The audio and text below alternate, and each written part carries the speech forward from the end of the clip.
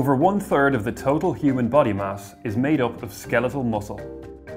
Skeletal muscle, smooth muscle, and cardiac muscle are the three varieties of muscle in the body.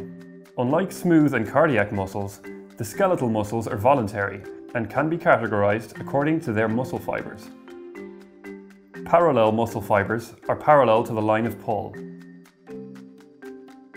while pennate muscle fibers are oblique to the line of pull.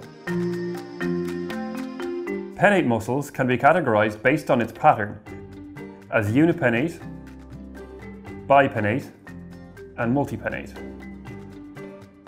The skeletal muscles are often attached to the bones via tendons. An origin refers to the proximal attachment point of a muscle. The distal attachment site is called insertion.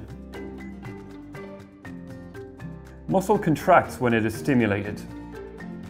The contraction brings the two ends of the muscle together, causing changes in muscle length. Flexion at the elbow joint is made possible by the prime mover, the brachialis muscle. The biceps brachii get a lot of attention, but they are the synergists in elbow flexion.